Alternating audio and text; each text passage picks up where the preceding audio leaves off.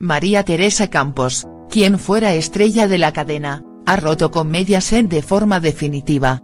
Se lo hemos contado en Periodista Digital en las últimas horas. El contrato que ligaba a la popular presentadora expiró el pasado lunes 4 de marzo después de 20 años en Telecinco. Durante los últimos meses, la matriarca de las Campos tuvo reuniones con Paolo Basile y directivos de Mediaset para estudiar su regreso a la televisión.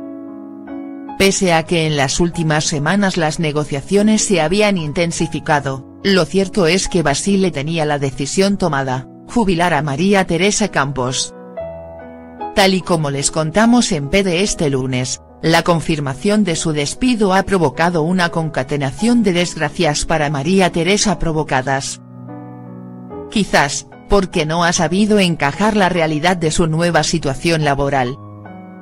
De esta forma la Campos habría roto su relación sentimental con Edmundo Bigotea Roceta así como atraviesa su peor momento en la relación con sus hijas Terelu Campos y Carmen Borrego pero fuentes próximas a la jubilada presentadora aseguran ahora a Periodista Digital que Campos no ha dicho la última palabra y que quiere protagonizar todo un bombazo, ¿el último?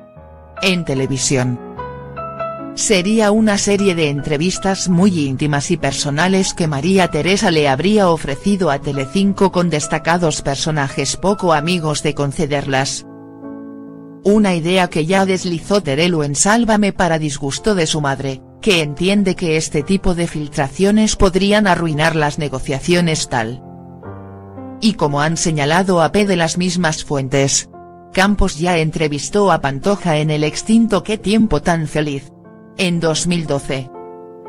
La situación ahora es la siguiente, Teresa Campos ha ofrecido atractivas entrevistas a Mediaset, como la de Isabel Pantoja, para colocar en parrilla en fechas señaladas y de menor producción televisiva como por ejemplo durante esta Semana Santa. Una solvente propuesta que sin embargo no termina de convencer. Por este motivo, según las fuentes consultadas, María Teresa está buscando otras alternativas.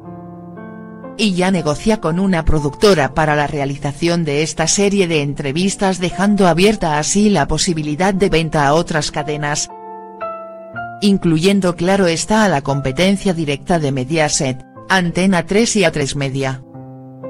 Una opción, la de Antena 3, que además vería con muy buenos ojos quien pudiera ser la primera de las entrevistadas, Isabel Pantoja. Sería así una venganza doble contra Basile tanto de Campos como de Pantoja y un palo para Telecinco. ¿Se imaginan a María Teresa Campos retirándose en Antena 3 y repitiendo aquella frase ya mítica de la historia de la televisión, a tomar por culo Basile?